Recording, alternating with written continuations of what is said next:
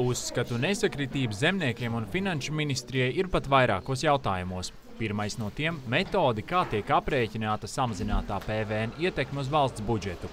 Ja pēc zemnieku aprēķiniem gada laikā valsts budžetam tas nes vien 3 miljonu zaudējums, tad pēc finanšu ministrijas aprēķiniem virs 30. Papildus tam ministrijai un nozarei līdz šim nesakrīt arī viedokļi par importa preču apmēriem nozarē un tās pienesumu nodokļos kopumā. Katram no šiem rādītājiem ir cita metodoloģija. Ja varbūt mums arī nav vairs īpaši šaubu par šo novērtējumu uz ietekmi, tiešo, kas ir gala patēriņš, kas ir šis, kas arī galā lietotājs precē, tad attiecībā uz šiem pārējiem mums vienošanās, ka mēs tiešām precizēsim to nozares tverumu, kas, ko uzskatām par nozaru.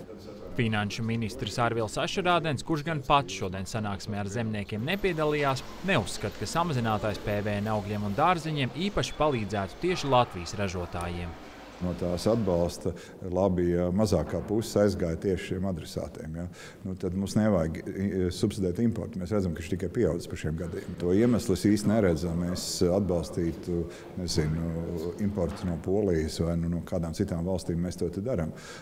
Drīzāk es redzu, ka mums jāizveido precīzi labs mehānisms, kā mēs varam atbalstīt savējos un lai šī nozare aug un ir eksporta spējīga.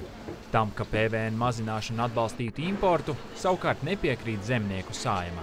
Ja mēs Latvijā importējam augļus vai dārzeņus vai mašīnas, pilnīgi vienalga, ko, ir nulle PVN.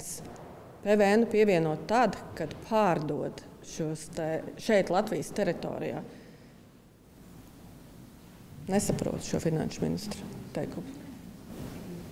Arī šodien pēc sanāksmes finanšu ministrijā jautājums būs vai nebūs pirmdien zemnieku protesti ar traktoriem Rīgā nav pavirzies tālāk. Tas joprojām neizlemts. Zemnieku saima savu galīgo lēmumu sola piekdien. Krišs Kairis Kaspars Markus, Latvijas televīzija.